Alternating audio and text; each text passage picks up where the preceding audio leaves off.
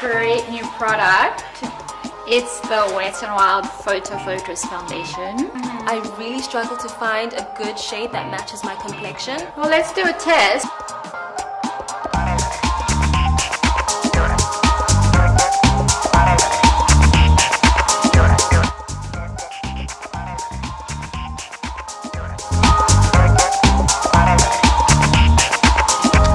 Color is definitely cocoa. Yes, Cocoa! I knew it would be a winner. I saw it in the bottle and I thought maybe it might be too light, but now that you've applied it on, yeah, Yeah. it's good. Definitely.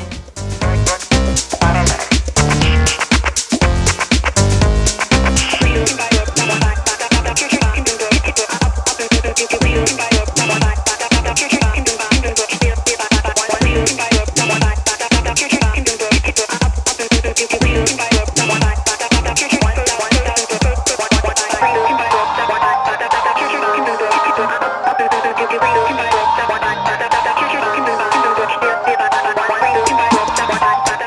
now we're gonna do a swatch on you to find your shade.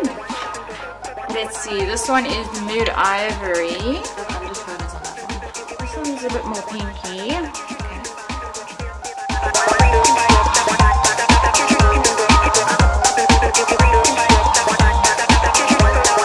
Let's see, this one's classic beige, and this one's also got a yellow undertone. It's just slightly darker.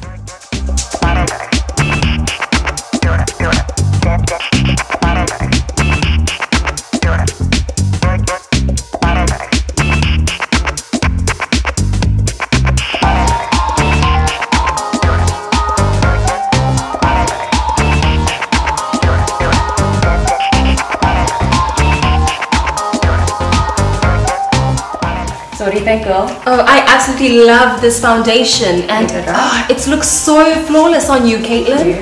I love yours as well. Your shade is perfect on you. Ah. Do you know why it's called a photo focus foundation though? Mm-mm. It doesn't have any flashback. So they tested it with a whole bunch of different cameras and then they discovered that there's absolutely no bounce back. Do you want to try it out? Yes, please. Grab a selfie.